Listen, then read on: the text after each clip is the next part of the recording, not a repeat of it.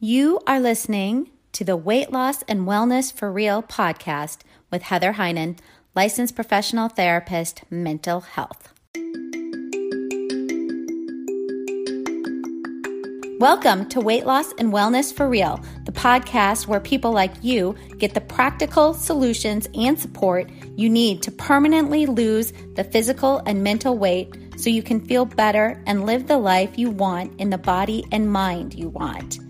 If you're looking to overcome your stress eating, overeating, binging behaviors, and move to a place of freedom with food and your body, you're in the right place. Hello, everybody. Today I'm going to answer a couple of questions that I got from some listeners. This is going to be all about how to avoid the junk food in the break room um, and the best snacks to help satiate and help with weight loss or weight maintenance. And then I'm also going to discuss the idea of some movement snacks right at the end. So take a listen. There should be at least one very practical, very doable strategy that you can incorporate into your daily life um, that's really going to help get you into a more healthy place with mind and body. So let's talk first about the break room, junk food, temptation station, as I like to call it. I, when I think about this or when I got asked this question, I immediately flash back to about 20 years ago, um, which I can't even believe it was 20 years ago. But I worked as a school counselor at an elementary school for about five years. That was at the beginning of my mental health therapy career, counseling career. And at that school, like most schools and places of work, there was a lounge or a break room. And in that break room, there was always, and I mean always, sweets, treats, donuts, candy. You know, I spent that first year at that job with access to all those tempting foods while working in a very stressful environment. So it really was the perfect storm um, which I'm sure most of you are in as well. Highly stressful job. And right now in 2020, just high stress all around us, even if our job isn't super stressful. 2020 itself is just stressful. So we're highly stressed with very easy access to all kinds of fatty, sugary foods um, that really can make the stress go away for a moment.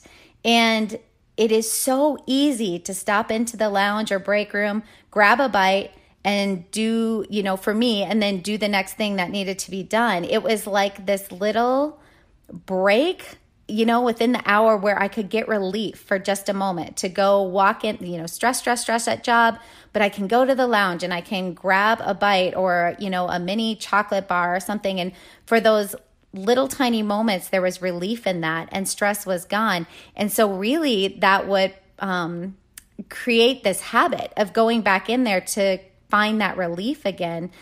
You know so two hours later i'd go back through the break room to get to the copy machine something like that. So then i'd gra- grab a handful of m&ms um, have to walk through the break room to get to the office to talk with the principal grab another handful or you know even just peruse with my eyes the donut or baked goods that i'm going to gr- grab later after work.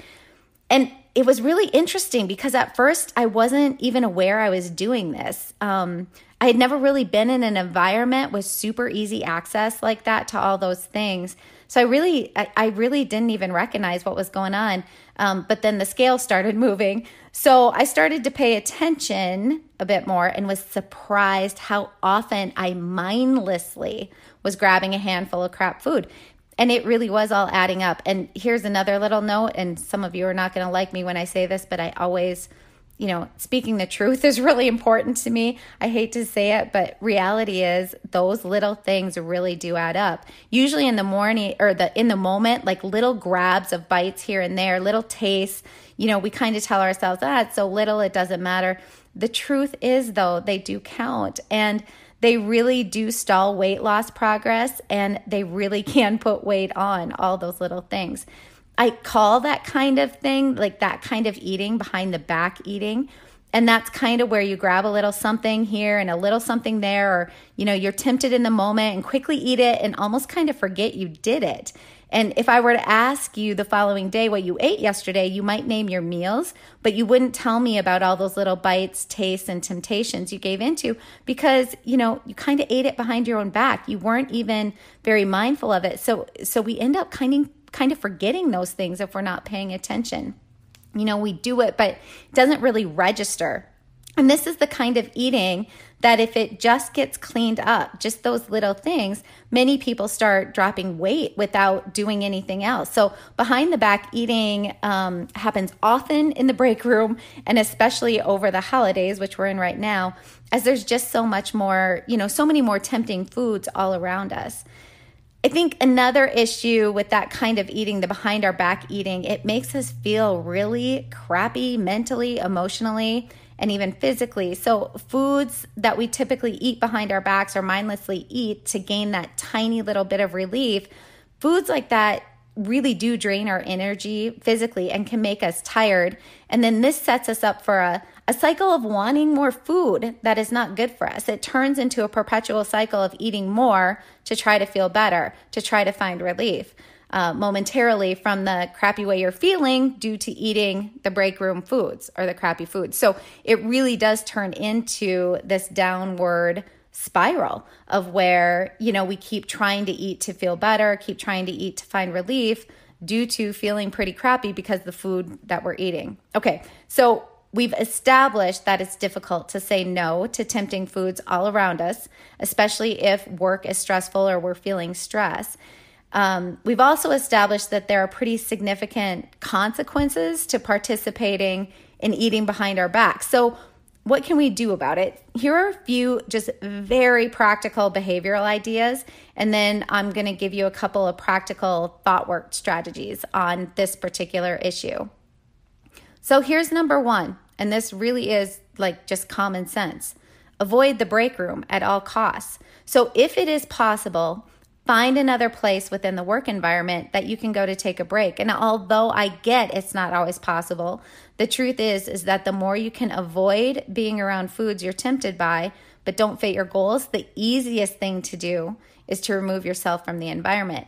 This gets even into the initial advice I often give to clients um, who have a really hard time you know, emotionally using food. If there is food in their environment, they're feeling stressed or not so good um, because they eat to kind of gain relief and find emotional freedom for the moment.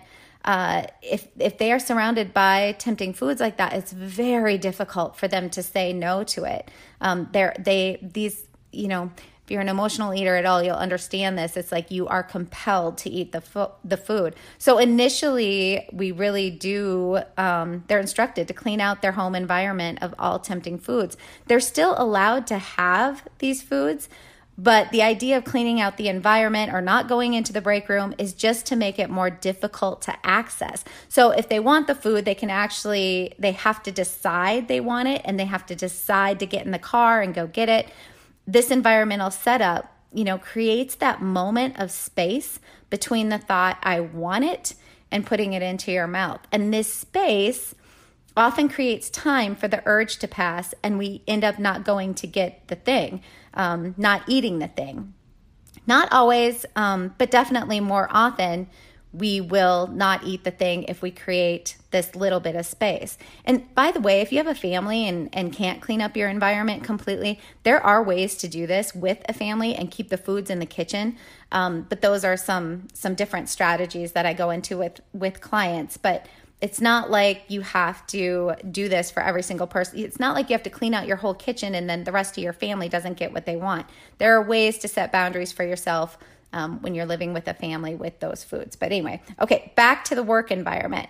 So, if possible, avoid the room with all the temptations. You just simply won't be tempted then.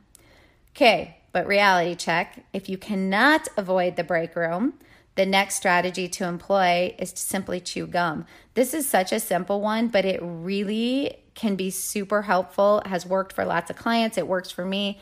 So, be chewing gum. Chew gum before you head in there. Having gum in your mouth again creates that momentary space where you can't just reach and grab a donut and put it in your mouth mindlessly. The gum creates the space where, in order to put something in your mouth, you actually will have to take a moment to get rid of the gum.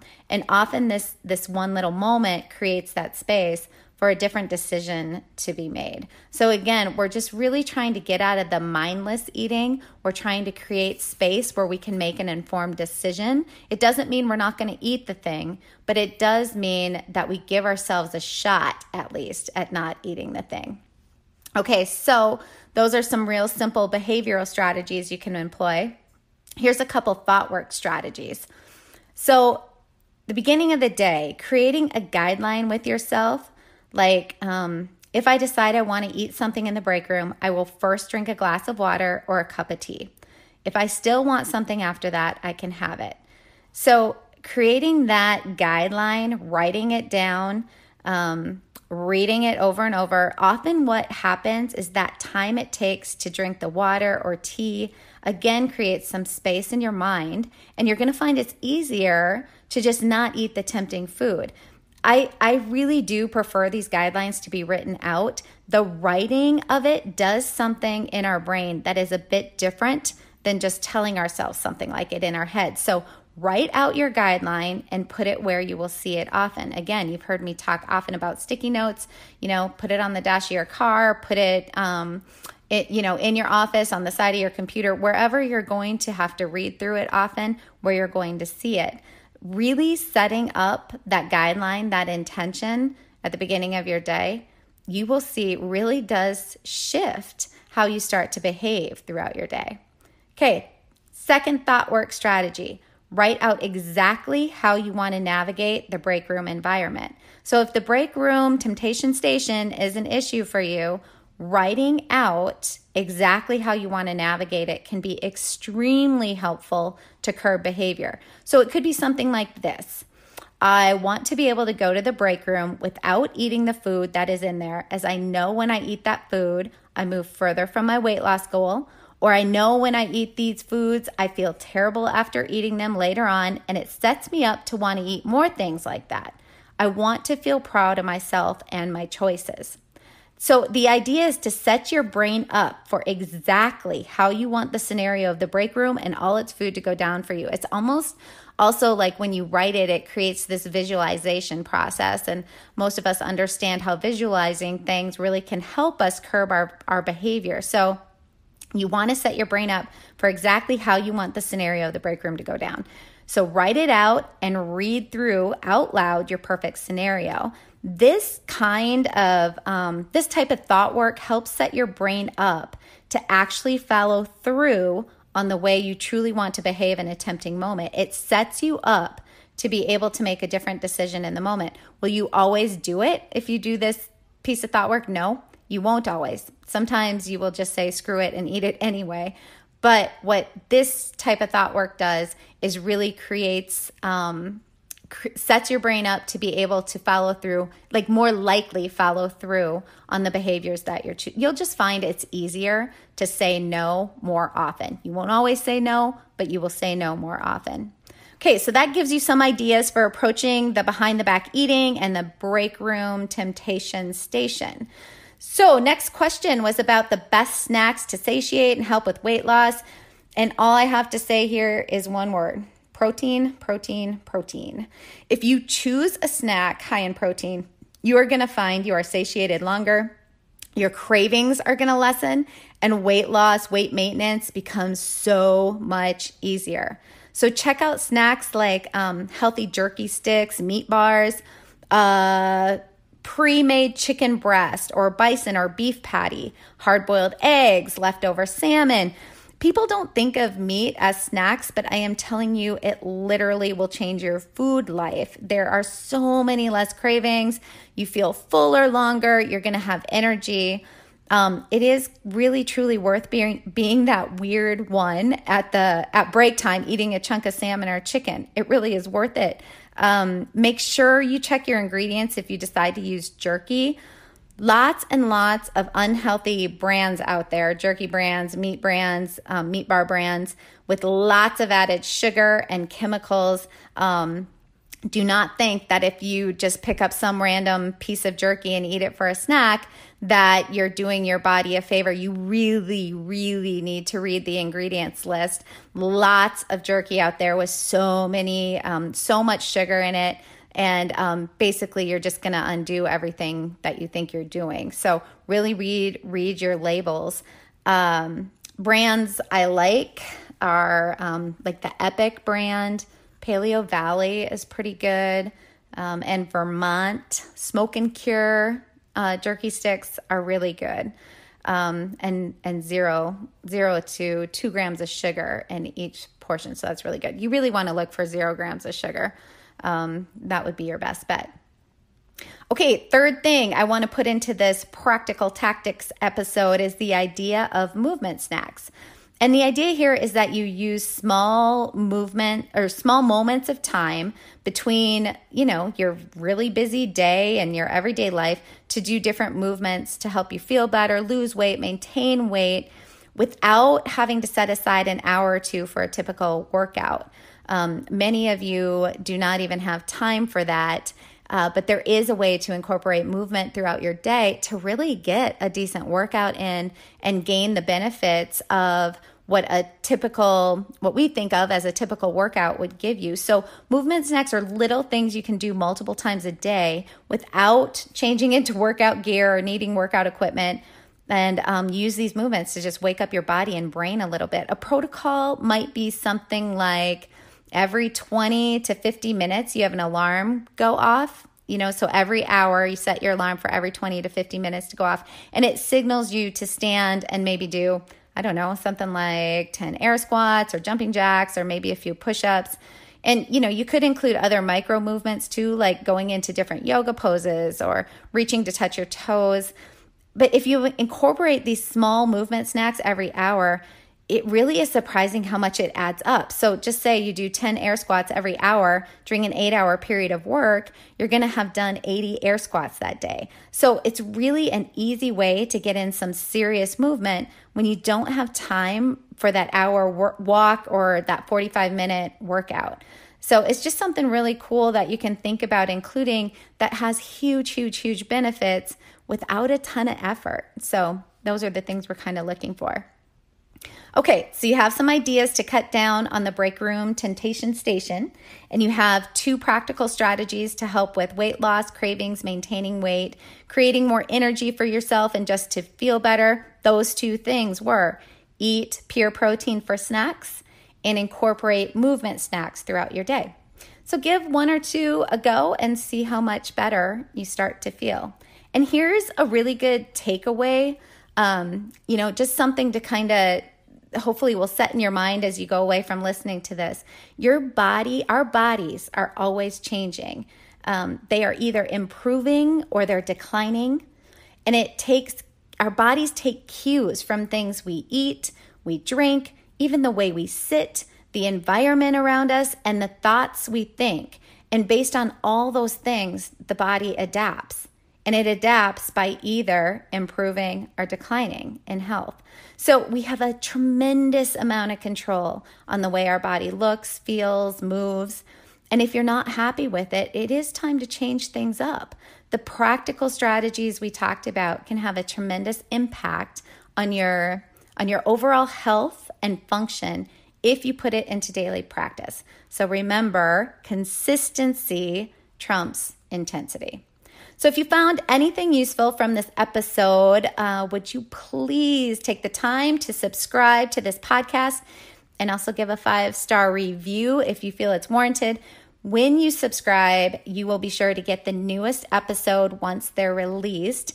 And all of this helps me keep the episodes rolling out and continuing to share information like this from this platform. If you've already subscribed, thanks so much for supporting this podcast.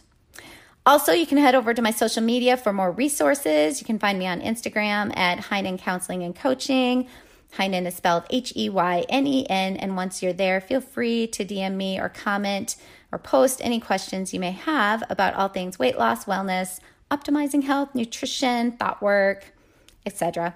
Um, I also have a recipes only page on Instagram at Peak Proteins Recipes, and Peak is spelled P E A K. It's where you'll find all my high protein recipes and healthier versions of some um, sweet foods that normally people enjoy.